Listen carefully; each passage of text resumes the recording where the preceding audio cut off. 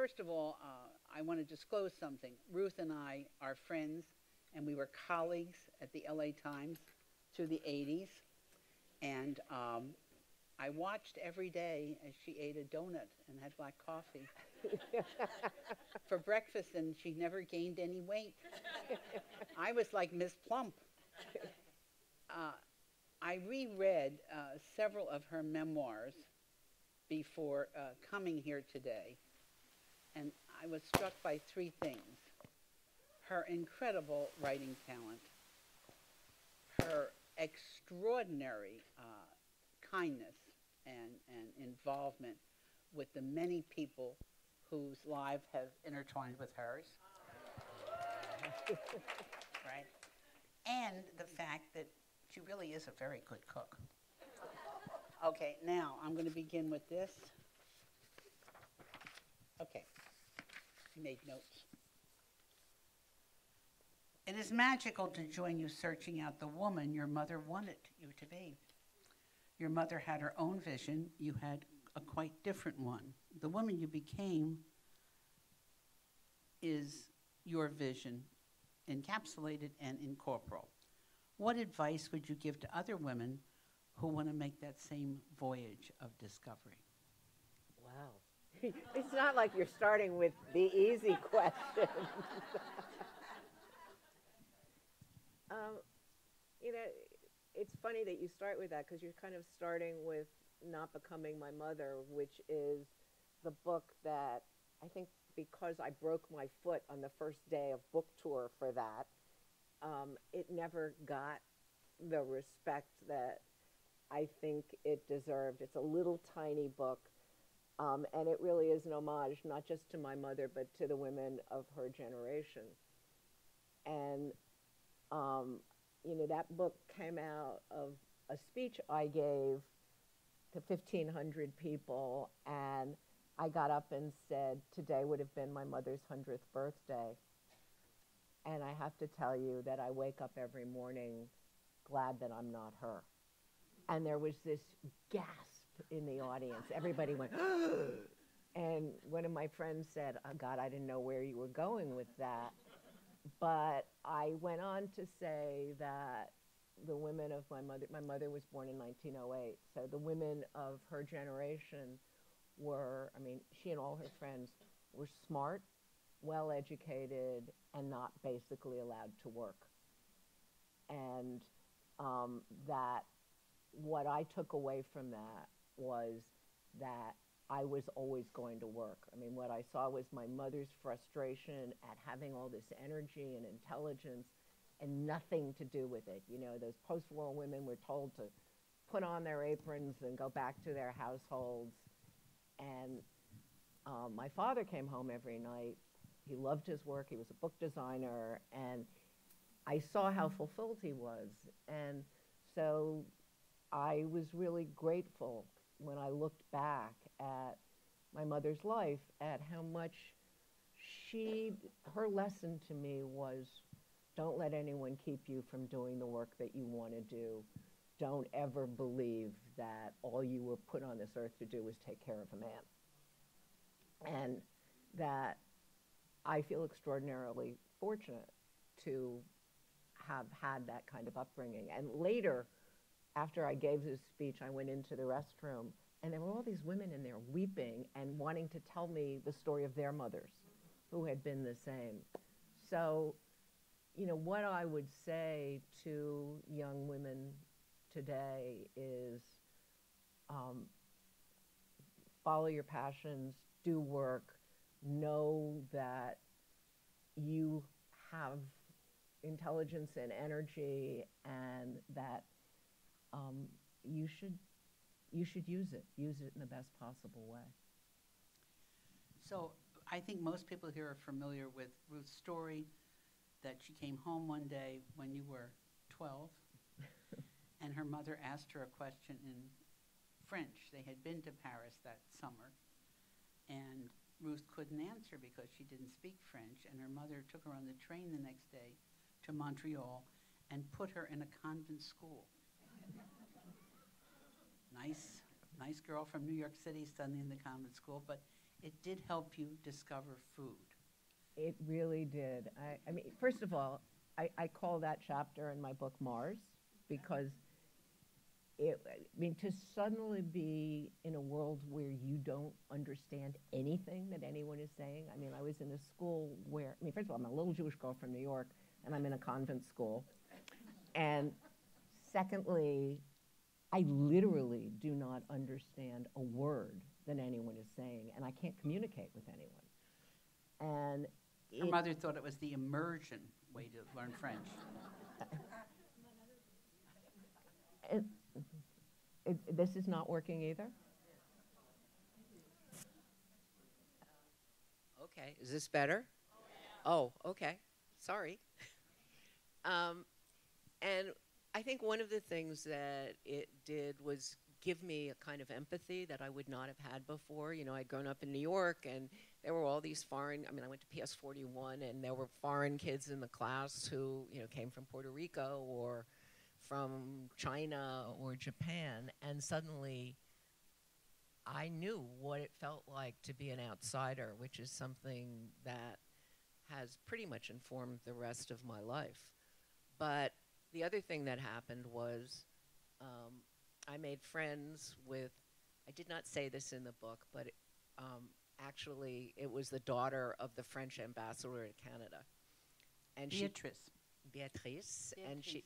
she took me home with her, and she had this relationship with her parents that very upper class French people have, where she vouvoied her parents. She used the formal term when she spoke to her parents, which shocked me. I mean, the idea that you would, you know, address your parents in this formal language.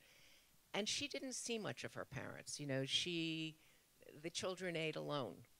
Um, they ate with the servants, and her parents. She was occasionally trotted down to visit her parents, but um, because it was my first night there, we were invited to eat dinner with the parents, and of course they had a cook. And I was a greedy child. I always loved food, and her father was enchanted by I mean, they gave me my first souffle, uh, a first real salad with, you know, really nice greens and real olive oil, which in 1961 there was no olive oil in America, and um, a very ripe brie. And I was just, I was over the moon, and he was enchanted by my loving food. And my friend Beatrice, saw that this was a way to get to her father. And she began became interested in food. And for me, it was an introduction to the idea that food was a language and it was a way of getting to know people. Um, that really, if um, you wanted to know someone, if you watched what they ate, um, that MFK Fisher, that Brillat-Savarin was right. Tell me what you eat, and I'll tell you who you are. And um, I started from that point on. I was invited back many times. Beatrice and her father had a new relationship, and I began seeing the world food forward. I mean, it was just, it was such a revelation to me that, oh, this is a way of looking at the world. So also, uh, before that, um, kind of the concept that good mothering is good cooking. Mrs. Peavy, Mrs. Peavy, Oh, right? Mrs. Peavy. And Alice with Aunt Bertie, right? And uh, I included in this list Beatrice's father. You mothered yourself by cooking. You did. And I read this book um, a long time ago, and then I reread it, and it didn't hit me so hard about the mothering equals cooking, and cooking eating equals mothering. But boy, it really swept over me. Well, you know, I've always believed that it's impossible to be a good cook if you're not, if you don't have a generous soul, and that there is a kind of generosity about food people, which is what attracted me to food in the first place. And you know, Alice was um, a, an extraordinary example. I mean, Alice Waters. No, no, this I'm Oh, talking Alice, about Alice I'm talking the cook. Oh, Alice the cook, who And there's recipes. who was my aunt Bertie's um, black cook, who, you know, in the fifties, I would go shopping with her, and I saw that she walked into the store and she was a superb cook. Um, my aunt Bertie didn't have much money, but Alice stayed with her through thick and thin.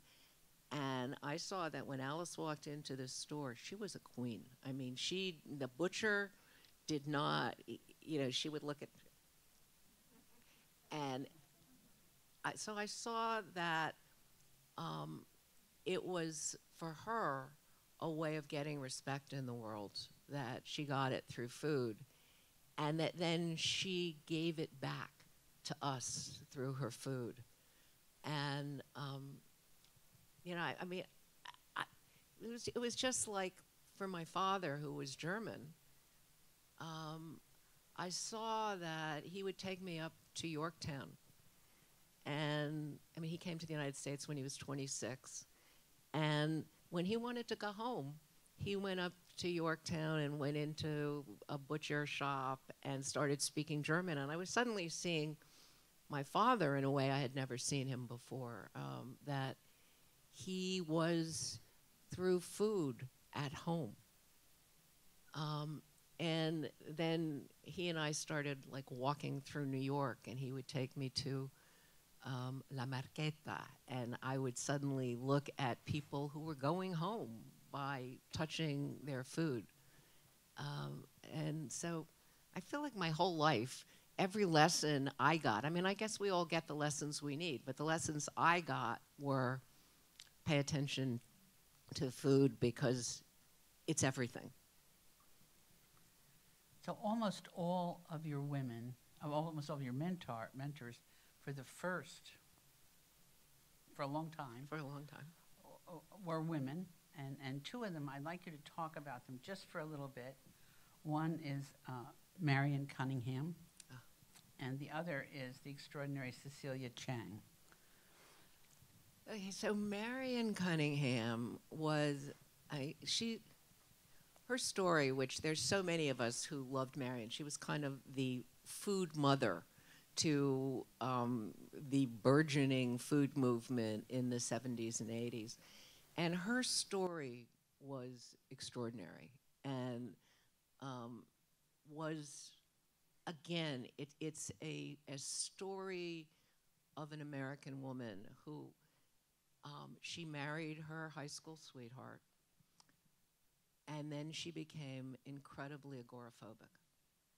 And um, she literally could barely leave her house, and she also became very alcoholic. And she told me once that she was so afraid that they would stop making vodka that she she said you looked in my house and there was vodka stop it was under every bed in every closet um, and she was so agoraphobic and she was so afraid of elevators that she could not have a child until they built a uh, maternity ward on the ground floor of her hospital and so but she finally she on her own, not doing a seven step thing or anything. She just decided she had to stop drinking, and she did.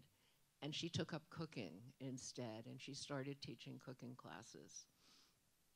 And for her 45th birthday, her son gave her a ticket to James Beard's class in, in Oregon. She was living in the Bay Area of California. She had never been on an airplane, she had never left the state of California. And she said, I can't get on that plane. And her son said to her, If you don't get on that plane, you'll never do anything and you'll never be anything. And she got on the plane and she cried all the way there. She was terrified. She got off the plane, she went to this class, and James Beard saw something in her and she became his assistant and she started traveling around the world with James. I mean, it changed her life completely. But there's a dark side to this story too. So then um, she she was a prolific letter writer and a real. I mean, I, I for years I spoke to Marion every day on the phone. Um, but when Judith Jones was looking for someone to write the a new version of the Fannie Farmer cookbook, he gave Judith James gave Judith Marion's letters, and so Judith said she's perfect, and suddenly she's is writing the Fannie Farmer cookbook, and she becomes a famous cookbook author. She, with her first royalty check, went out and bought a Jaguar. but the dark side to this story is her family could not cope with the successful woman that she became. And it was huge resentment in the family. Her relationship with her husband really deteriorated. Um, you know, she wasn't home cooking for the family all the time. I mean, she was off being someone else. And so she became the mother to the food world, but her own personal life really became difficult. And Kim Severson of the New York Times and I both keep saying, you know, somebody has to write Marion's life. I mean, it is a real, it's another classic tale of that generation of women that there was a price to the kind of success that she had. Thank you. Okay. Talk a little bit about About- Cecilia. About Cecilia. So, Cecilia uh, was one of the most remarkable women I've. She Cecilia um, walked out of China. She, her father was a doctor and a scholar. She was the seventh daughter, and he was. So Cecilia died what two years ago at hundred. Um, her, her father was a very progressive man who did not believe in having his daughter's feet bound, and which saved her life because um, during the revolution, she and one sister they sewed gold into the hems of their skirts and they walked um, hundreds and hundreds of miles out of Shanghai and into free China and she ultimately married a man who was very close to Chiang Kai shek, and they went to Taiwan. And he became the Taiwanese ambassador to Japan, so they lived in Japan. And she ended up coming to America to visit her sisters, and ultimately, she, she signed a contract for somebody needed to borrow some money. If somebody she met needed to borrow some money because she was buying, uh, renting a restaurant, and Cecilia lent her the money, and then the woman backed out, and Cecilia was suddenly stuck in America. She'd invested all this money, and so she became a kind of accidental restaurateur. Um, she ended up making a small fortune. She had a house in an apartment in San Francisco, a house in Tiburon, and a house in Beverly Hills and each of them had a car, a Bentley, not a Bentley, a Rolls Royce attached to it. Um, and her her place in Beverly Hills had an indoor swimming pool. Um, she had um, this. She would have closets full of exotic um, food that she brought back from Hong Kong. Um, this was before we all knew that you know you, you shouldn't be eating shark's fin, and she had a shark's fin closet and a cognac closet. Um, and um, she was one of the people who, um, she and MFK Fisher and Marion, you know, when I was a freelance writer in, in the Bay Area, and um, the LA Times asked me to come be their restaurant critic, and um, I was scared and said no, I wasn't going to do it. And Cecilia said, "Don't be ridiculous. Of course you're going to go do that." You know, she was she was just a risk taker, and I'm really grateful that she pushed me to take risks. Uh, so for those of you who are native Californians, Cecilia, of course, had the Mandarin, the Mandarin restaurant in, in San Francisco and the Mandarin Restaurant in Beverly Hills. And, yeah, yes, and, and her son, Philip, right. is um, the Chang of P.F. Chang. Chang- Chang's. And Cecilia was inordinately proud of Philip. Yeah, he's re- really a lovely guy too. So, so in many of the books, I think in all the books, you talk about your hard work in the kitchen and as a server in several food establishments. What's your view of the experience of commercial cooking when you got into it? Well, I mean, I, when I first got into it, I was in college, and my first view was I was shelving books for a dollar an hour, which was then the minimum wage when I was in college. And then my boyfriend became a waiter at this fancy restaurant in Ann Arbor, and um, he said, "You know, you should come be a waitress there." And on my first shift, I worked four hours and took home thirty-five dollars. And so my first one was, "Wow, this is this is pretty incredible." Um, but learning about cook, I mean, everybody has this idea that cooking in restaurants is like cooking at home. I mean, cooking in restaurants is like being in a factory. You know, it's an assembly line. It's it's nothing like cooking at home. And that first restaurant was um, it was a dream. Um, it it was this guy had had this fantasy about opening a restaurant in Ann Arbor, and he did everything wrong. It, it was a it was great for me to learn it on someone else's dime. Um, he um, he hired a chef from the Four Seasons in New York and the best grill guy from Detroit.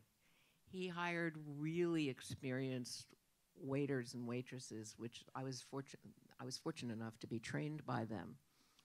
He bought Limoges china, Baccarat crystal, all of which broke in the first month. And um, he had a chandelier that had come from a house that the Duke of Wales had. I mean, it, it was an insane, but it was a vision. You know, I'm going to open a really elegant French restaurant in Ann Arbor, Michigan. And um, for those of us who worked there, it was a wonderful experience, but he went out of business in two years um, and lost everything he had. And, you know, for me, it, it's the lesson I have learned over and over again in my career, which is you really don't make money in fine dining. You know, I mean, all the big fine dining guys are guys who use their Daniel, their Spago, their you name it, as kind of loss leaders for the restaurants that actually do make money. You know, the restaurant at the airport, the uh, you know Danny Meyer opening um, the Union Square, ca- Right. and then Shake opening Shack. Shake Shack and becoming a billionaire opening Shake Shack. I mean, that's where the money is in restaurants. So your honesty blows me away. I mean, go back and read these books; they're so good. Is there anything you wished you had included in your early books, and anything you wished you left out?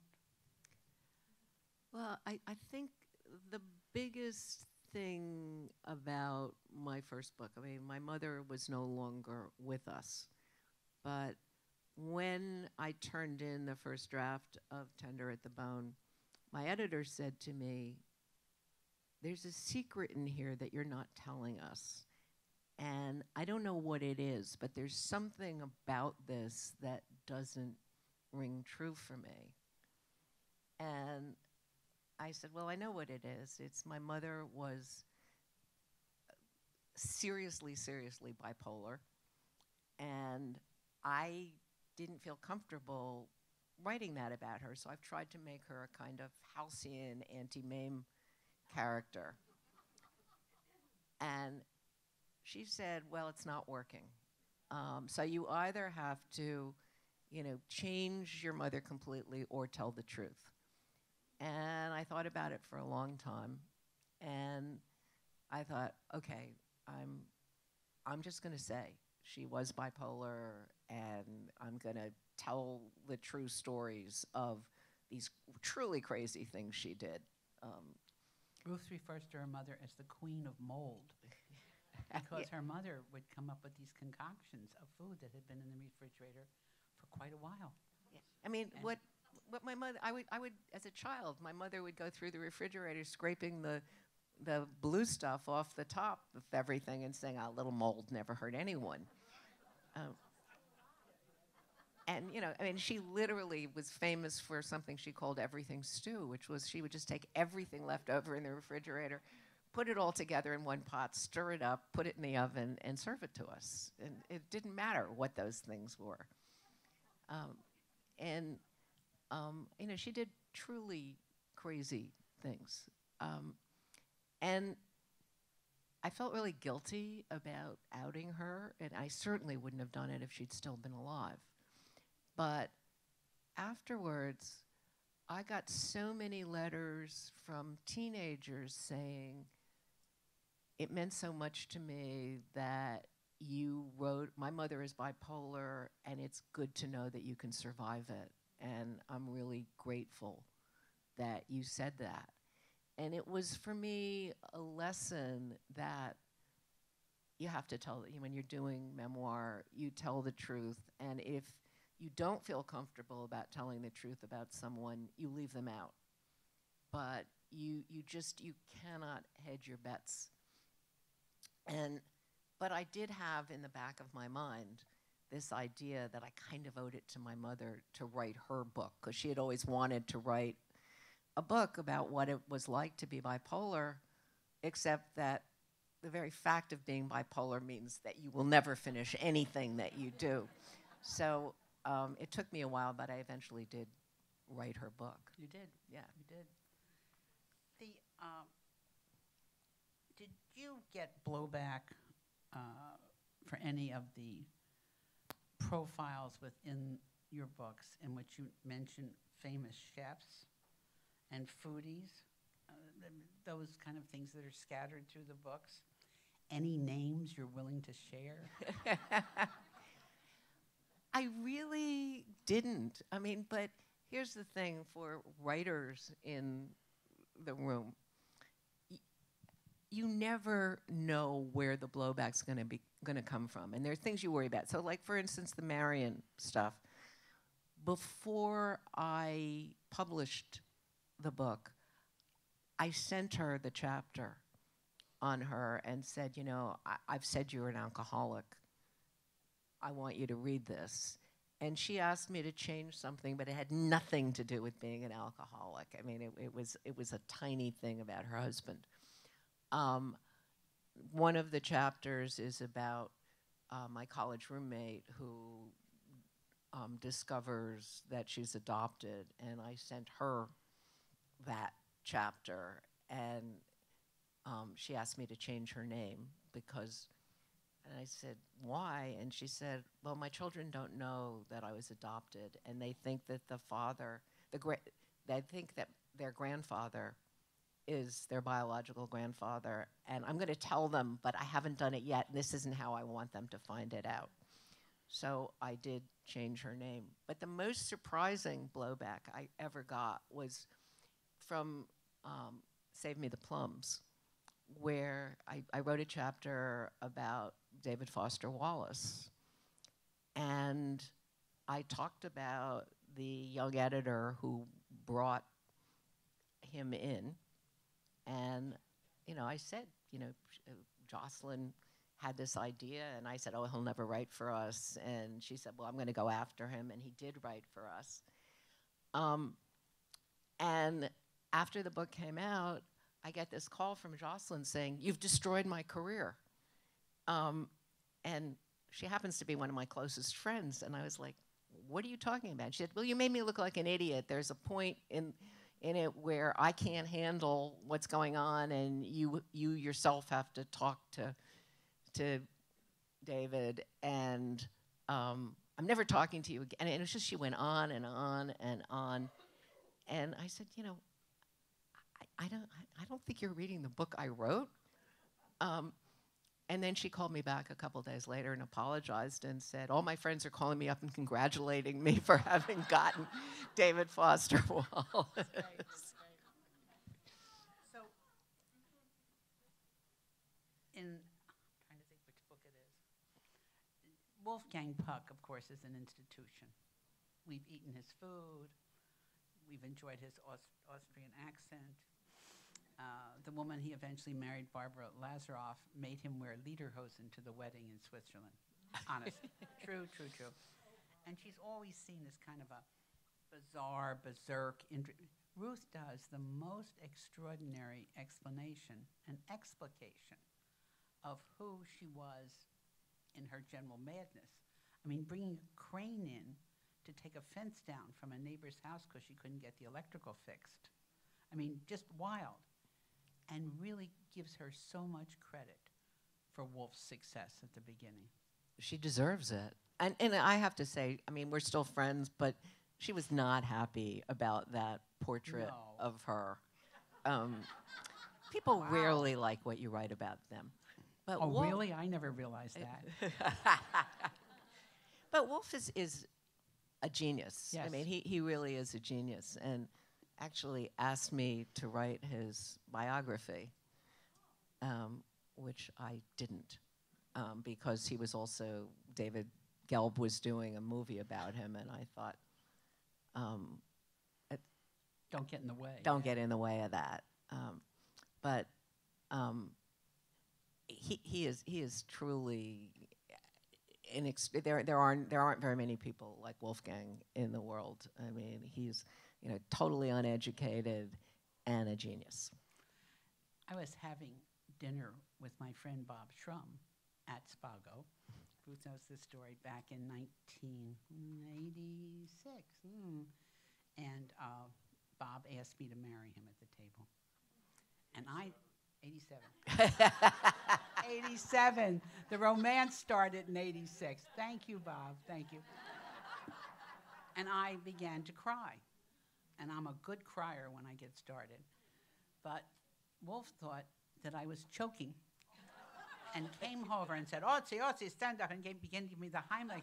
And Bob said, No, no, we're getting married. At which point, he bought champagne for the entire restaurant. It's a great way. 86, 87, who cares? It was a great moment. okay, now we're going to get into food. What do you love to cook, and what do you refuse to cook? Uh, I I basically cook for other people. So what I love to cook is what whoever I'm cooking for wants to eat. So in the case of my husband, it means hamburgers most of the time. Mean, Michael Michael likes really simple food, um, but you know, it's no fun to me to cook something elaborate for someone who doesn't want to eat it. Um, what I really love to cook are you know something that'll take me three days and is really complicated and I've never cooked before. Um, that's really fun for me and I have no qualms about doing it for the first time for a party. I mean, if it's not good, it's a dinner, you know, big deal. I went to Ruth and Michael's house. I think when you first bought the house, and she had I don't know 50 people in the house, and I you know I thought this is going to be great. It's going to be like pate and la di da and escargot, and there were Thai noodles, and there were Thai noodles, and there were Thai noodles. so I thought, well, so I ate the first bowl, and then I ate the second bowl, and then I ate the third bowl. And I understood that when she cooked it, it was a feast. And it really was a feast. Oh, thank you. Um, what is your, you have to be honest, what is your favorite cuisine? I love all the Asian cuisines. Um, I mean, I love most cuisines. I mean, I love French food. I love Italian food. But you know, um, you know, I would eat Thai, Chinese, Japanese, Vietnamese. You know, four times a day, very happily. So this is a clean copy, which Ruth signed to my foodie son, uh, of a wonderful book. My copy is kind of food stained. I'm kind of a sloppy cooker, you know. I urge you to, if you're going to buy one book, buy this book. Because you can then leave the Barefoot Contessa and Julia Childs and Craig Claiborne and all these people. You, you can too have a wonderful year cooking. Now, there are a few things in here I'm never going to cook. but I read about them, and I kind of imagined how they tasted. What brought you to write this book? Well, uh, gourmet closing was really a horrible moment for me. I me. didn't bring it up. I didn't Uh, bring it up. well, no, it was it was, you know, seventy people I really cared about lost their jobs, um, and we had been very close. It had felt like a great run. I mean, I think for all of us, um, you know, this is what Save Me the Plums is about. It's it's, you know, the privilege of running a magazine where um, your boss basically says, just make me the best magazine you possibly can, spend what you have to spend, um, and lets you go, and where you have like really smart, passionate people working for you. And none of us saw it coming. I mean, I never in a million years thought that Condé Nast would close a 70 year mag- 70 year old magazine that had the best renewal rate of any magazine except the New Yorker in the world. Um, and I still don't believe that they closed it. I mean, it felt like it really didn't belong to us and it didn't belong to Condé Nast, that it really belonged to the readers. And I still feel like it was kind of a crime for them to do that. And it was a shock because at the time that it closed, we had the highest circulation and the highest renewal rate in the history of the magazine. Um, but you know, it, it, we were in a bad patch at that moment because ad sales everywhere were down, and ours were down more than most because of the magazine strategy. I mean, if you if you have a luxury, if you decide that you're going to only take luxury ads, and as my publisher um, then explained to me, he said, so if if you're Tiffany's and your ad budget has been cut in half, are you going to cut Vogue or are you going to cut Gourmet? If you're, you know, Silver Seas Cruises, are you going to cut um, the Traveler or are you going to cut Gourmet? And he said, we're going to we're going to tank for a year or so, but then it'll, they'll all come back because they love us. And I just didn't think that they would close. Anyway, I was incredibly depressed. But before we go there, talk about how you saved the cookbook collection. I love this story. Oh.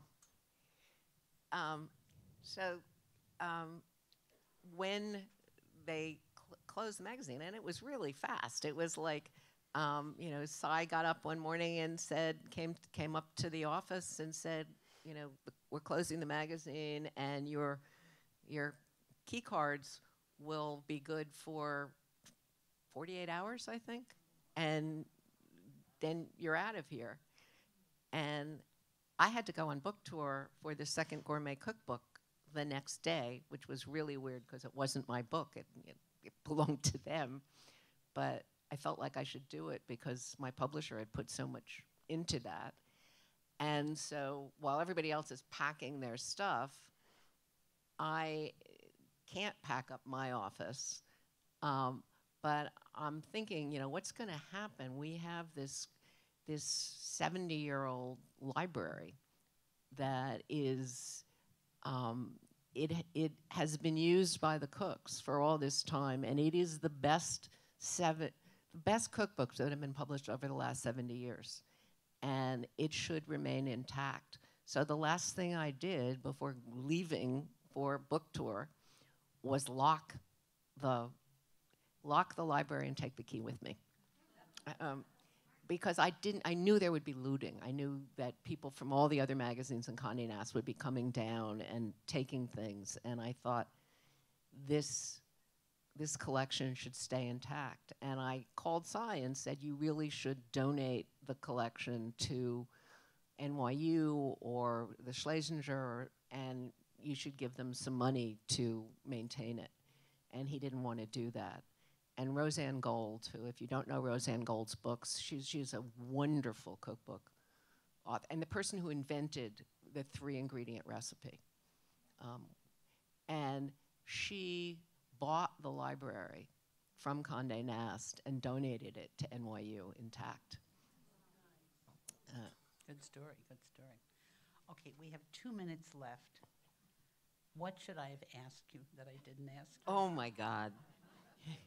I, I think you should. a- I want to tell the story of how Marylouise and I met because when I was when I was hired to go to the LA Times, I was put.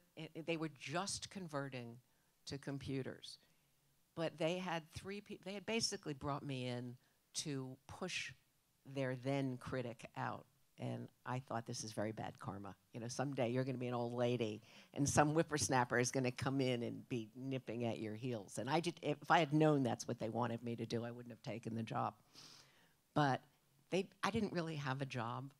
They didn't know what to do with Marylouise, and they didn't know what to do with David Cay Johnston, who has since won a Pulitzer for his reporting on tax taxes when he was at the New York Times.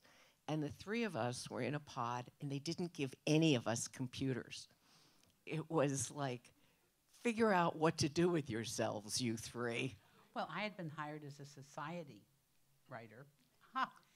And Seymour Hersh, who I'd worked with in the McCarthy campaign, called me up. He said, Want to hear a joke? Some broad with your name has been hired as a society writer. but, but, the other three society writers were kind of phoning it in. And in the same way that Ruth said, Well, I'm going to do this and this and this, I thought, Well, I'll do this and this and this. And I wrote profiles. I did occasionally have to go like to the opening of a door or the opening of a can or something like that. But, but, I will tell you, I got to do things like Bob Hope Drive. I spent three weeks with Bob Hope because they thought he was going to drop dead. He was turning 80. Little did they know. he was quite charming. Quite charming. I was, I was really entranced by him, especially when he took me to the Toluca Lake golf course. And I was on the little cart with him, and I was driving along, and there was our editor in chief. I got to wave. Ruth opened the world to many of us. And I want to say this, not as a, not as a, a peon, but as a reality check. She wrote restaurant reviews that when you read them, you'd think, well, gee, I could go to that restaurant. I could have that good meal.